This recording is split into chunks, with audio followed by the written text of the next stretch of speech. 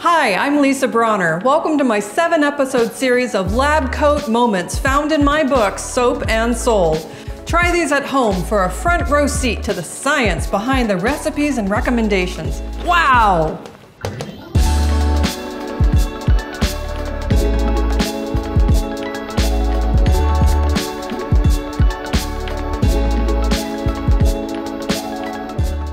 In this episode, we're comparing the concentration of Dr. Bronner's Pure Castile soap and a store brand generic Castile soap to find out which contains more soap and therefore more cleaning power for your money.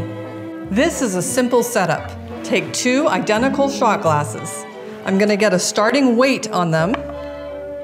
They are both 75 grams. Add one tablespoon of soap to each. Now the experiment begins. Let the shot glasses sit out for several days until all the water content evaporates.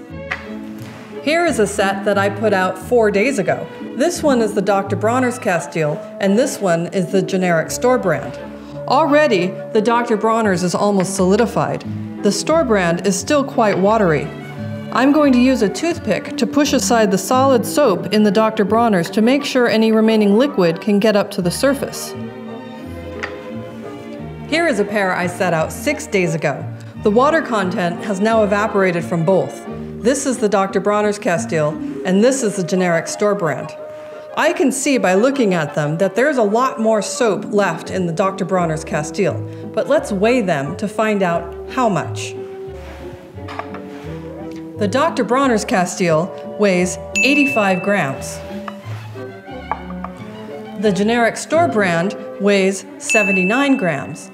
If we subtract out the 75 grams for the shot glass, that means that we have 9 grams of Castile soap and we have 4 grams of the generic store brand. That's twice as much soap content in the Dr. Bronner's. That means there is more than twice as much soap in the Dr. Bronner's Castile. That means twice as much cleaning power per bottle and your bottle goes twice as far because you need to use so much less each time. Money saved. In the next episode, we'll look at freezing Castile soap with Epsom salts.